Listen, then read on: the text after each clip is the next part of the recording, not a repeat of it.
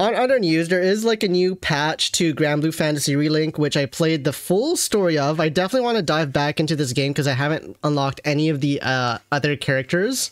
And I still have it. I still want to continue playing it. I just don't know when I'll have the time for it. But I like to stay updated with things. So let's take a look at it.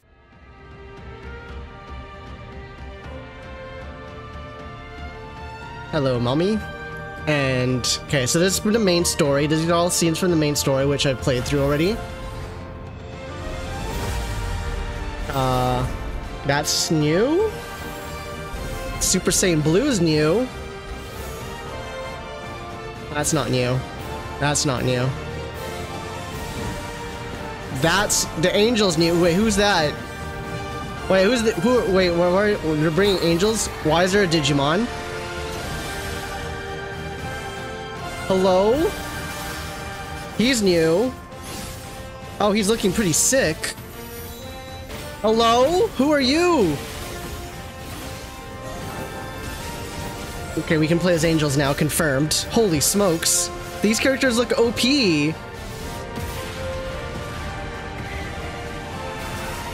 A new boss. That looks hard. They're just all the angels. Literally just angels.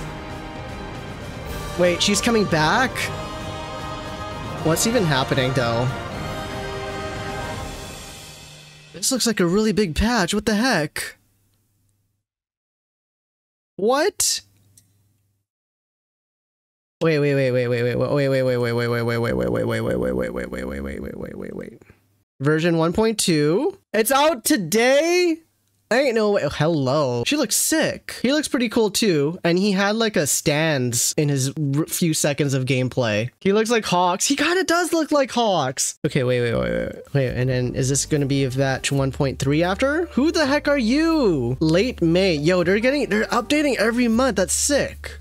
That's actually crazy. Wait, you have a lot of wings and they're all different colors. Who is this character? And he's playable?